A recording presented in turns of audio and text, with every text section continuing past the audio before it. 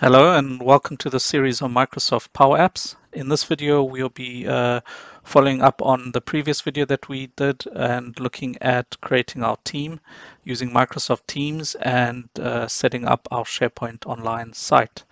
So um, if we head over to office.com um, you can see on the left hand side here we can navigate all the way down to Teams and this will open up Microsoft Teams. If you have the desktop application installed, it will be the same process. I'm just using it in the browser because this is my development PC and I have uh, a number of different uh, tenants that I'm, I'm playing around with, so I just want to use the, the browser for now. So if we head over to Teams, you can see uh, at the bottom over here, you have the option to, to join or create a team. And over here, we have the option to create a team. So I want to create a new team. And you have the option to create it from a group or create it from scratch. I'm going to create mine from scratch and it's going to be a, a, a private team. And I'm going to give it the name of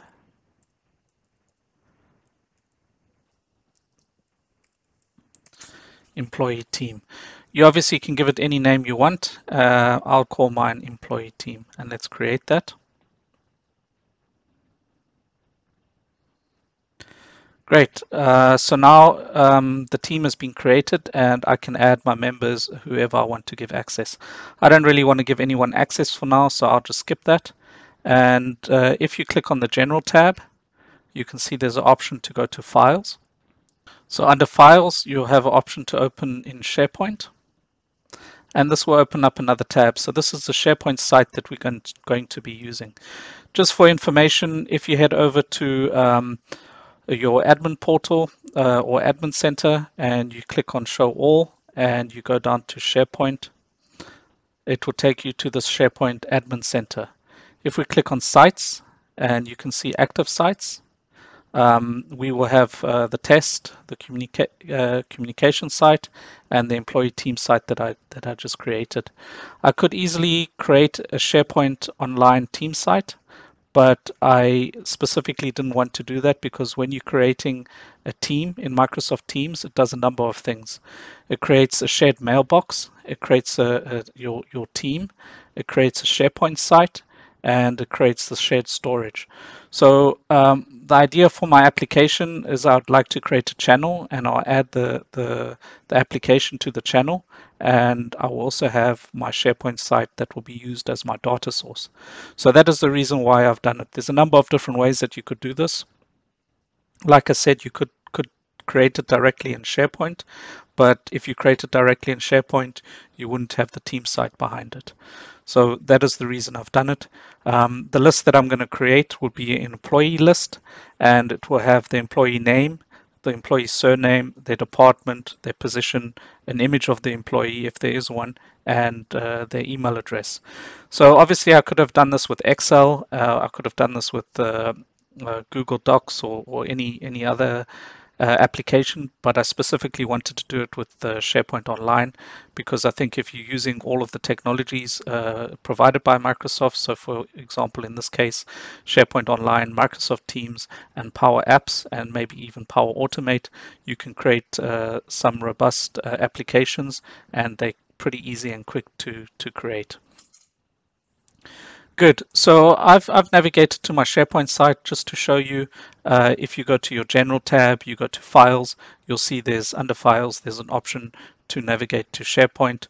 Uh, you can also see the URL of the um, of the uh, team site in your uh, admin center, and that would be Sites Employee Team. So let's just go to the employee site. Uh, under Documents, I want to create a uh, new folder.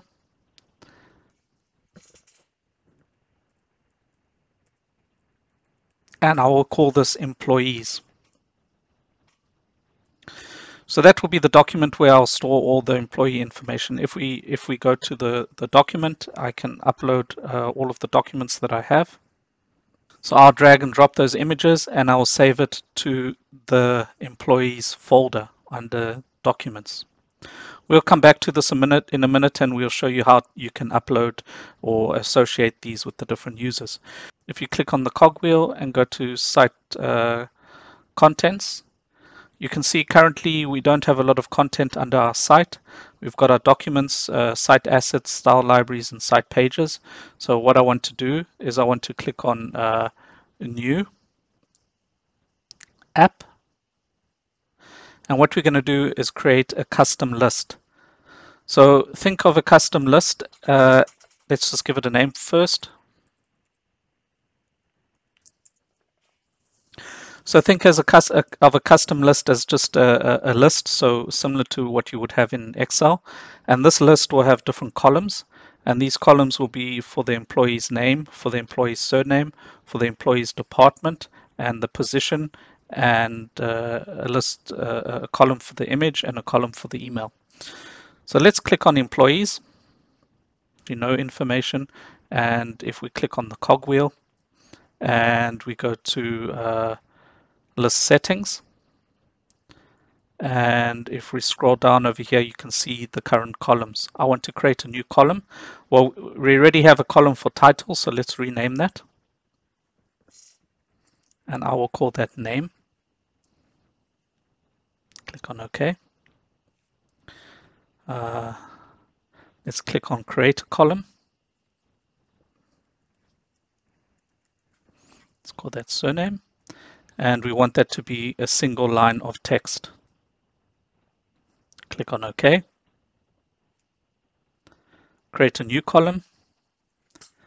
And this will be, uh, let's make this one email. And this will also be a single line of text. You could set these columns up as personal group, but I don't have all of these users set on Active Directory. So I will just set them up manually and populate them manually. Let's click on OK. Let's select create column. And this one will be for uh, department. And this one will be for a choice field. And you can see at the bottom here, uh, we have the different options options for choice. So I'll put in there HR, I'll put in sales, I'll put in there marketing and I'll put in there IT.